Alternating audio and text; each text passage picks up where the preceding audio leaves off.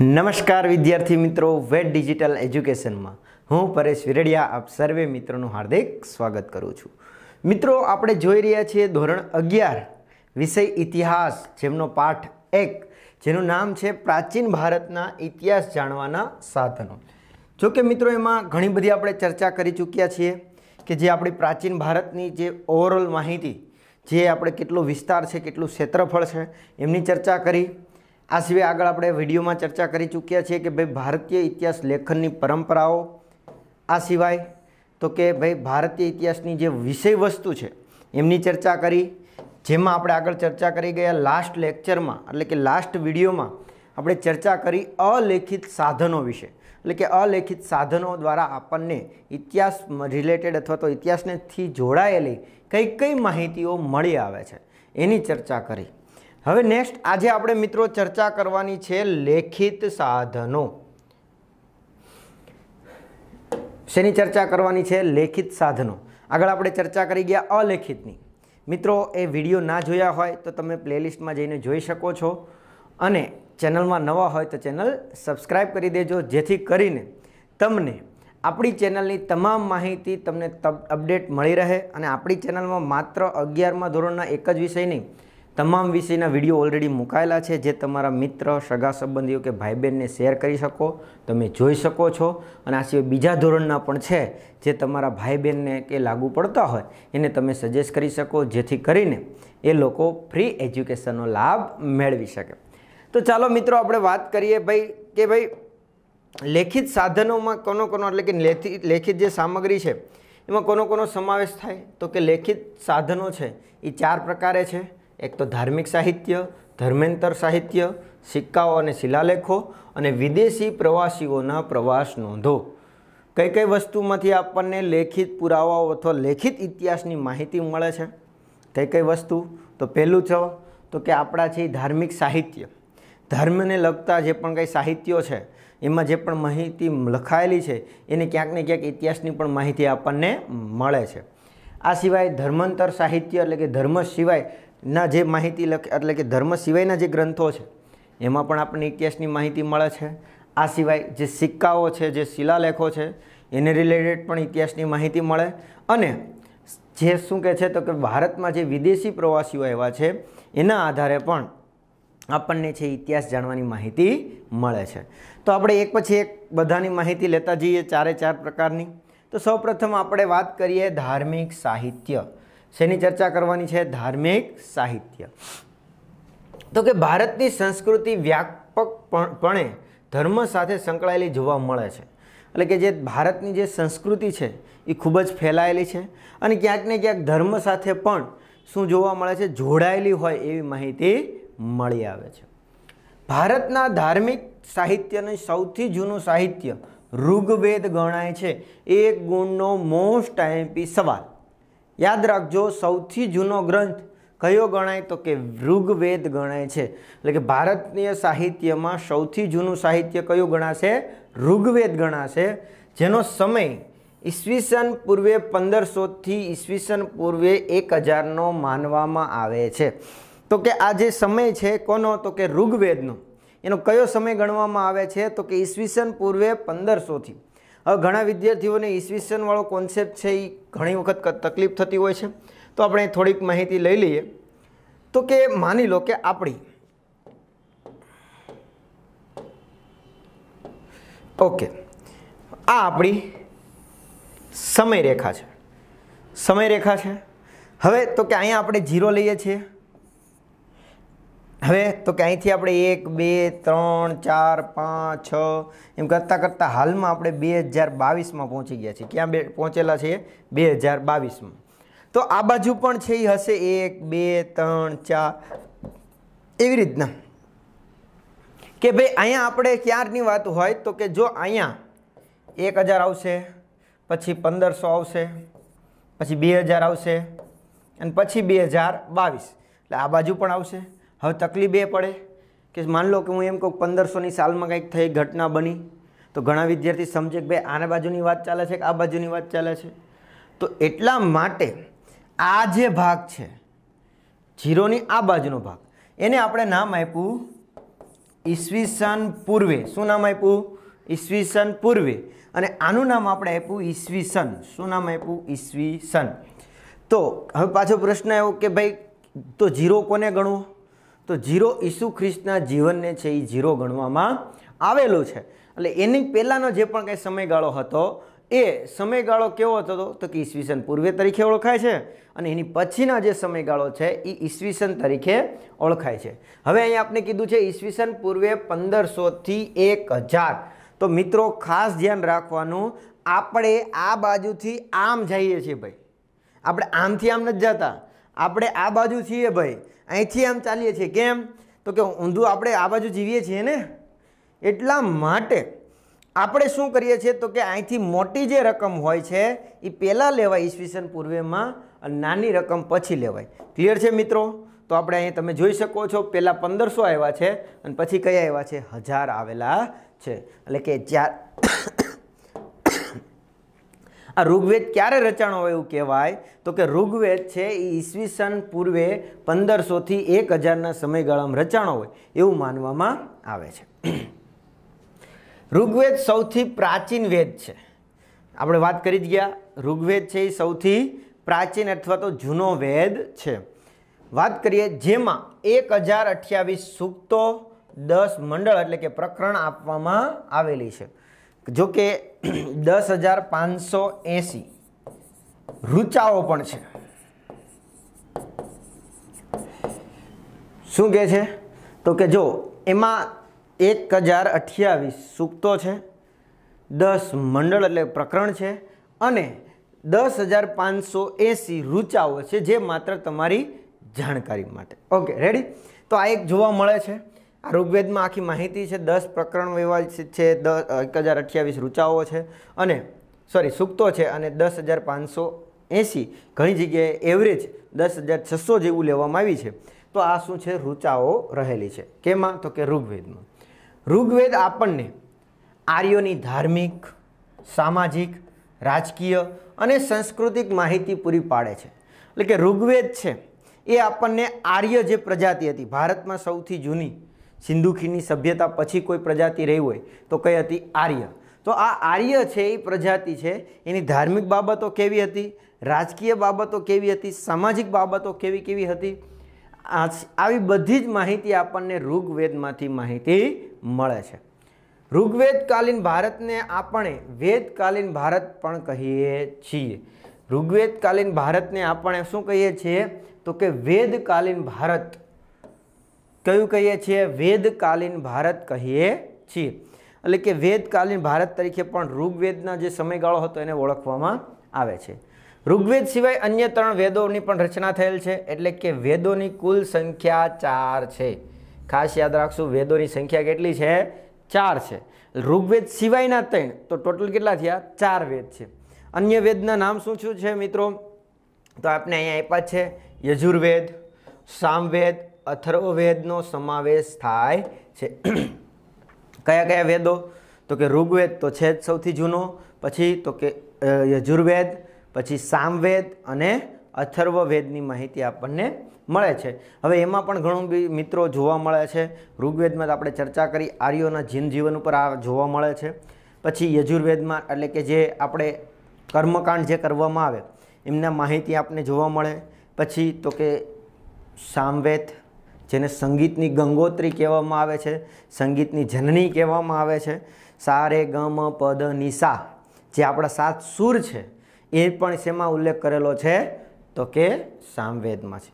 યજુર્વેદ મિત્રો બે ભાગમાં છે. એને જો કે બે ઋષિઓએ લખેલું છે.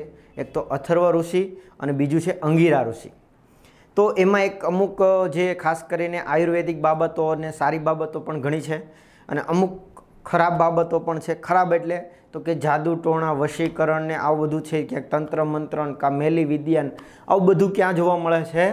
તો કે અથર્વવેદમાં જોવા મળે છે. જો કે ઘણા ઘણા ઋષિ મુનિઓ અથર્વવેદને વેદ માનતા નથી. પણ આપણે છે એ ઓફિશિયલ રીતે કેટલા ગણવાના? તો કે ચાર વેદ ગણવાના રહેશે. ચાલો આપણે આગળ વધીએ. તો કે શું કહે છે? આ ત્રણેય વેદો ઋગ્વેદ પછીના સમયમાં રચાયા છે. અને આ ત્રણેય વેદોમાં મંત્રો, પ્રાર્થનાઓ, અનુષ્ઠાનો અને સાંસારિક બાબતોનો સમાવેશ થાય છે. એટલે કે આ જે ત્રણ વેદ, કયા કયા યજુર્વેદ, સામવેદ અને અથર્વવેદ, આ ત્રણેય વેદ છે એ ઋગ્વેદ પછી છે એ રચાણા. એટલે કે પછી લખવામાં આવેલા છે. આમાં શું જોવા મળે છે? તો કે વેદોમાં મંત્રો છે, પ્રાર્થનાઓ છે, અનુષ્ઠાનો છે સાંસ્કારિક સાંસારિક બાબતો છે, એ બધાનો સમાવેશ છે એ જોવા મળે છે.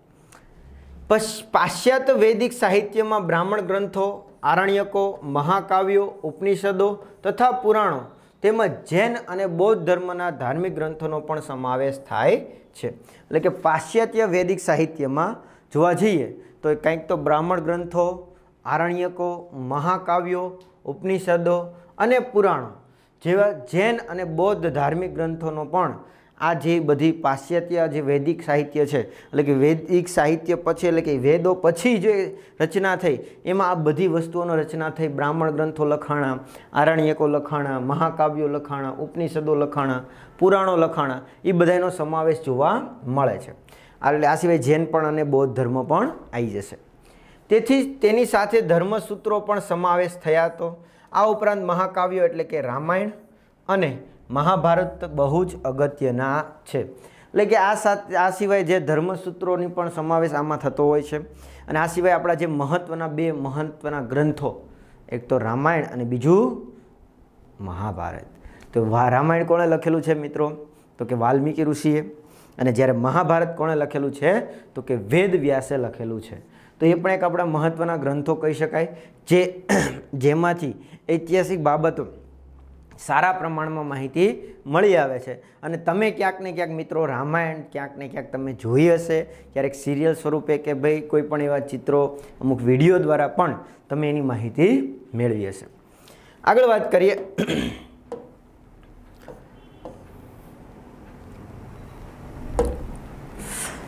પુરાણો પણ ઐતિહાસિક સામગ્રીથી ભરપૂર છે. જોકે પુરાણોની રચનાકાળ બહુ સ્પષ્ટ થતો નથી. એટલે કે જે આપણા પુરાણો છે ને, એમાં પણ ઐતિહાસિક બાબતો ખૂબ જ સમાવેશ કરેલો છે, સંગ્રહ કરેલો છે. એમાં પણ ખૂબ જ ઘણી બધી માહિતી જોવા મળે છે. પણ તકલીફ થોડી ઘણી આપને એ છે કે એનો કોઈ ચોક્કસ સમય સ્પષ્ટ થતો નથી, ચોક્કસ સમય મળતો નથી. એટલા માટે થોડીક અવઢવના જોવા મળે. બાકી છે એમાં ઘણી બધી આપણને ઐતિહાસિક બાબતો જોવા મળે છે.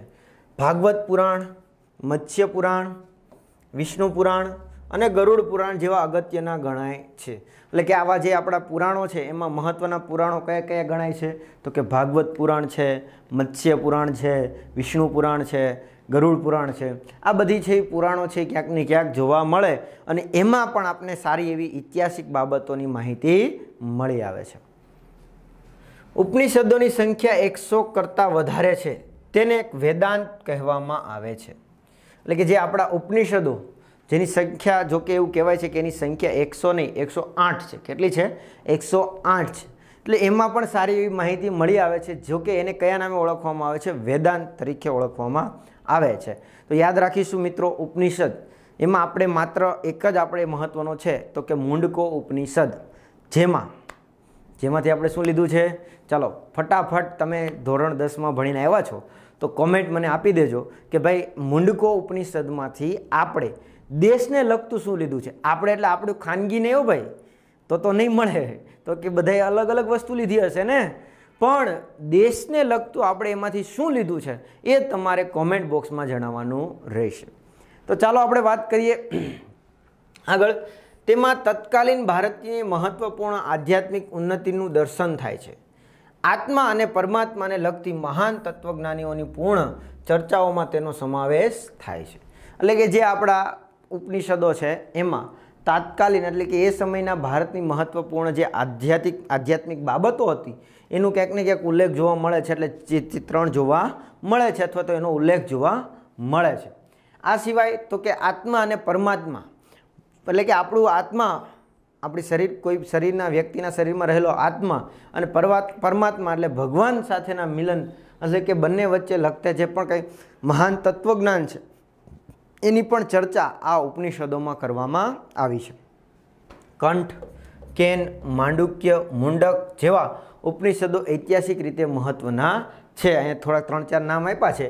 કંઠ, કેન, માંડુક્ય, મુંડક જેવા ઉપનિષદો છે કે જે આપણને ક્યાંક ને ક્યાંક ઐતિહાસિક રીતે ખૂબ જ ઉપયોગી સાબિત થાય છે. નેક્સ્ટ છે ઉત્તર વૈદિક કાળ, જે મોટે ભાગે ઈસવીસન પૂર્વે છસોના વર્ષ સુધીનો ગણાય છે. એટલે કે વૈદિક કાળ પછી કયો સમયગાળો આવે છે મિત્રો? ઋગ્વેદિક કાળ પછી તો કે ઉત્તર વૈદિક કાળ. તો ઉત્તર વૈદિક કાળ છે એ એક હજારથી અંદાજિત છસોની આસપાસનો સમયગાળો કહેવામાં આવે છે. ઈસવીસન પૂર્વે છઠ્ઠી સદીમાં હિન્દુ હિન્દુ સાહિત્યના ધર્મસૂત્રો અને ગૃહસૂત્રોની રચના જોવા મળે છે. તો સાથે સાથે બૌદ્ધ અને જૈન ધર્મ સાથે સંકળાયેલ બહુ જ મહત્વપૂર્ણ સાહિત્યની રચના પણ આ સમયે થયેલી જોવા મળે છે. એટલે શું કહે છે? તો કે જે આ ઈસવીસન પૂર્વે છઠ્ઠી સદીની આસપાસ, છઠ્ઠી સદી સદી એટલે શું મિત્રો? તો કે પાંચસો ઈસવીસન પૂર્વે પાંચસો એકથી છસો સુધીનો સમયગાળો એને આપણે છઠ્ઠી સદીમાં મૂકતા હોઈએ. તો આ છઠ્ઠી સદીની આસપાસ જે છે હિન્દુ સાહિત્ય છે, એના ધર્મસૂત્રો, પછી ગૃહસૂત્રો એની રચના જોવા મળે. સાથે સાથે આ જ સમયે મહત્ત્વના ભારતમાં ઉદ્ભવેલા બે ધર્મ, એક તો જૈન ધર્મ અને બૌદ્ધ ધર્મ. એમની પણ ક્યાંક ને ક્યાંક સાહિત્યમાં રચના છે એ જોવા મળે છે, અથવા તો એની સાથે જોડાયેલી સાહિત્ય બાબતો પણ આપને ક્યાંક ને ક્યાંક જોવા મળે છે. જેમાં આપણે થોડી ઘણી માહિતી લઈએ, તો કે બૌદ્ધ ધાર્મિક સાહિત્યના ત્રિપિટક સૌથી મહત્વનો પૂર્ણ ગણાય છે. આપને પ્રશ્ન વિકલ્પમાં આવો પ્રશ્ન પૂછાય મિત્રો, કે ત્રિપિટક કયા ધર્મ સાથે જોડાયેલો ગ્રંથ છે? તો કયા ધર્મ સાથે જોડાયેલો છે? તો કે બૌદ્ધ ધર્મ સાથે જોડાયેલો છે. તો ધ્યાન રાખશું મિત્રો. એટલે કે બૌદ્ધ ધાર્મિક સાહિત્યમાં ત્રિપિટક સૌથી મહત્વપૂર્ણ ગ્રંથ ગણવામાં આવે છે. જેમાં કોનો કોનો સમાવેશ થાય? ત્રિપિટક, ત્રણ પીટક. પણ એમાં કયા કયા ત્રણ પીટક? તો જુઓ સુદ પીટક, વિનય પીટક અને અભિધમ પીટકનો સમાવેશ થાય છે. કયા કયા ત્રિપિટકનો કયા કયા ત્રિપિટકનો સમાવેશ થાય? તો કે સુદ પીટક, વિનય પીટક અને અભિધમ પીટકનો સમાવેશ થાય. આમાં પ્રશ્ન આપણને એવો પૂછાઈ શકે કે નીચેનામાંથી ત્રિપિટકમાં કોનો સમાવેશ થતો નથી? તો ધ્યાન રાખવાનું. જેમાં આપણે વાત કરીએ કે સુત પીટકમાં શેની વાત છે? તો કે ગૌતમ બુદ્ધના પ્રારંભિક જીવનની ચર્ચા કરવામાં આવી છે. સુત પીટકમાં શેની વાત છે? તો કે ગૌતમ બુદ્ધના. જે પ્રારંભિક જીવન છે. શરૂઆતી જે અવસ્થા છે, એની ચર્ચા કરવામાં આવી છે શુદ્ધ પીટકમાં જ્યારે વાત કરીએ વિનય પીટકમાં બૌદ્ધ સાધુ અને સાધ્વીઓ માટેના નિયમોનો સમાવેશ થાય છે. એટલે કે જ્યારે વિનય પીટકની આપણે વાત કરીએ, તો વિનય પીટકમાં શેની વાત છે? તો કે બૌદ્ધ સાધુ સાધ્વીઓ છે. તો એ સાધુ સાધ્વીઓ છે, એમને કયા કયા નિયમોનું પાલન કરવું જોઈએ? એનો ઉલ્લેખ છે એ શેમાં જોવા મળે છે? તો કે વિનય પીટકમાં કરવામાં આવેલો જોવા મળે છે. આવી જ રીતના અભિધમ પીટક. કયું? તો કે અભિધમ પીટક. તો એમાં શેની જોવા મળે છે? તો કે બૌદ્ધ તત્વજ્ઞાન જોવા મળે. આ સિવાય બૌદ્ધ સાહિત્યની જાતક કથાઓનું જ્ઞાન પણ બહુ જ અગત્યનું જોવા મળે છે. તો આજે આપણે વાત કરી ત્રિપિટક. તો ત્રિપિટકમાં સૌપ્રથમ આપણે વાત કરી શેની? તો કે સુત પીટક તો સુત પીટકમાં શેની વાત છે? ગૌતમ બુદ્ધની પ્રારંભિક જીવનની વાત છે. પછી ચર્ચા કરી વિનય પીટક તો એમાં બૌદ્ધ સાધુ અને સાધ્વી હોય, કયા કયા નિયમોનું પાલન કરવું હોય, કરવું પડશે, તો એ આ સંઘમાં રહી શકશે. એની વાત છે, અને અભિધમ પીટકમાં શેની વાત છે, તો કે બૌદ્ધ તત્વજ્ઞાનની માહિતી મળે છે. આ સિવાય જાતક કથાઓ, જે પૌરાણિક કથાઓ પણ ક્યાંક ને ક્યાંક છે, એ ઇતિહાસ સાથે જોવા મળે છે, બૌદ્ધ ધર્મ સાથે જોડાયેલી જોવા મળે છે. નેક્સ્ટ હવે બૌદ્ધ ધર્મ પછી જૈન ધર્મની વાત કરીએ. તો કે જૈન ધર્મના ધાર્મિક સાહિત્યને આગમ ગ્રંથો કહેવાય. જો, બૌદ્ધ ધર્મની આપણે શું કીધું હતું ત્રિપિટક. જ્યારે જૈન ધર્મમાં આપણે શું કીધું? તો કે આગમ ગ્રંથો. આ યાદ રાખજો. તો આગમ ગ્રંથો તરીકે જૈન ધર્મ સાહિત્ય જોળખાય છે. આ આગમ ગ્રંથોમાં ચોવીસ જેટલા જૈન તીર્કરોની તત્વજ્ઞાનપૂર્ણ ચર્ચા કરવામાં આવી છે. એટલે આ જે આગમ ગ્રંથો છે, એમાં જે જૈન ધર્મના ચોવીસ તીર્થકરો થઈ ગયા. કેટલા? ચોવીસ જેટલા તીર્થકરો થઈ ગયા, એમની માહિતી આપને અહીંયા જોવા મળે છે. અને તેનું પ્રથમ સંકલન મૌર્યકાળમાં થયેલું, જ્યારે બીજું સંકલન ઈસવીસન ઈસવીસન છઠ્ઠી સદીમાં છે એ થયું હતું. જે ક્યાં? તો કે ગુજરાતના વલભીમાં થયું હતું. જે પ્રથમ સંકલન કોણે કરેલું હતું મિત્રો? કેનું આગમ ગ્રંથોનું સંકલન? તો ચંદ્રગુપ્ત મૌર્ય મૌર્ય વંશનો શાસક, જે સ્થાપક પણ કહી શકાય. તો એમણે કર્યું હતું જ્યારે બીજું, વલભી ગુજરાતના મૈત્રક વંશના શાસકો દ્વારા વલભીમાં જ્યારે એની બેઠક ભરાણી હતી, બીજી જૈન સભા ભરાણી હતી, ત્યારે એમનું બીજું ગ્રંથનું થયું હતું. તો મિત્રો, આ આપણે વાત કરી હતી ધર્મ જે છે તે કે ધાર્મિક સાહિત્ય. ધર્મને લગતી સાહિત્યની બાબતોમાંથી આપણને ઇતિહાસની કેવી કેવી માહિતી મળે છે અથવા તો કઈ કઈ વસ્તુઓ છે આપણને એમાંથી સીધી બેઠી મળી આવે છે. નેક્સ્ટ આપણો બીજો પ્રકાર છે ધર્માંતર, ધર્મેન્તર સાહિત્ય. એટલે કે ધર્મ સિવાયનો અથવા તો ધર્મ પછીના જે પણ સાહિત્યની રચના થઈ, એને રિલેટેડ આપણને ઇતિહાસની માહિતી કઈ કઈ મળે આવે છે, જેમની ચર્ચા મિત્રો આપણે આવતા લેક્ચરમાં કરીશું. તો આ વિડીયોમાં આપણે અહીંયા સુધી રાખીએ. થેન્ક યુ જય હિન્દ. જય ભારત. અસ્તુ.